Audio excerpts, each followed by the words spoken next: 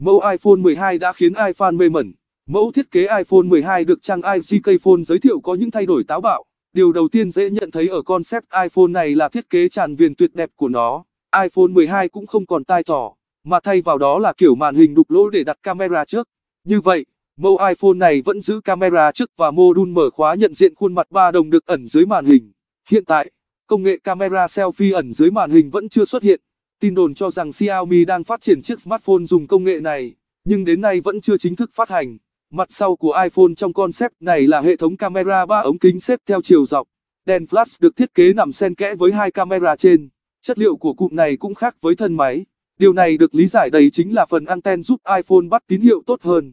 Phần thân của iPhone 12 vẫn được làm từ chất liệu kính và hỗ trợ sạc không dây hai chiều. Vừa dùng sạc không dây cho iPhone vừa dùng iPhone sạc cho các thiết bị khác. Trên thực tế, cả Huawei và Samsung đều đã trang bị công nghệ này cho các smartphone hàng đầu của mình. Tất nhiên, đây chỉ là ý tưởng của các nhà thiết kế. Việc Apple có lựa chọn một thiết kế như vậy hay không là điều cần câu trả lời ở tương lai.